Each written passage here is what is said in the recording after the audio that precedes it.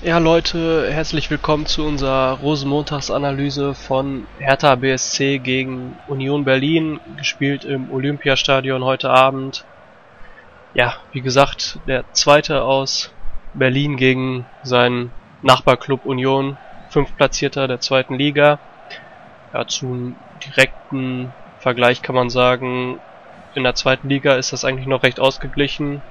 Zwei Siege Hertha, ein Unentschieden, eine Niederlage. Ich denke mal, Stadtderbys sind immer was Besonderes und äh, deswegen wird es eigentlich schwer einzuschätzen sein heute Abend.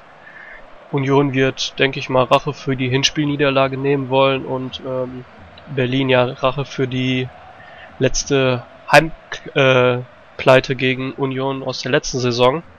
Ja, was sagt die Formtabelle? Laut äh, dieser Statistik hier hat Hertha halt mit 86% eine leicht bessere Performance als Union mit 79, aber da eingerechnet sind eigentlich vorwiegend Freundschaftsspiele.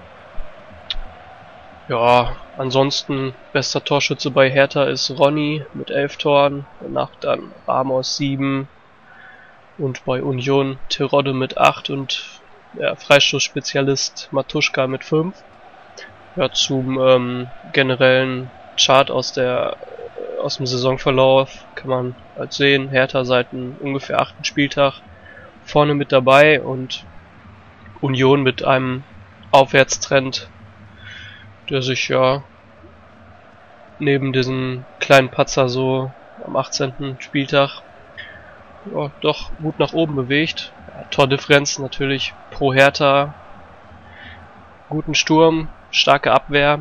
Ansonsten, ähm, ja, äh, ich glaube, Hertha hat soweit außer Holland, der müsste gelb gesperrt sein, keine ähm, Ausfälle.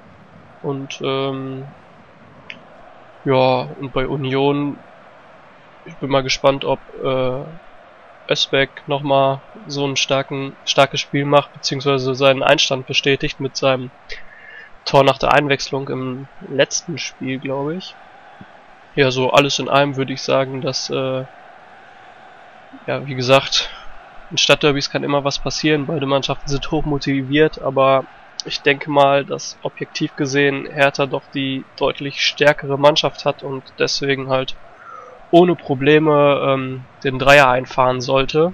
Äh, mein Tipp ist, denke ich mal, 2-0 für Hertha. Aber heute kann alles passieren. Und ja, bis zum nächsten Mal, wenn es wieder heißt, Matt Forecast macht eine Analyse.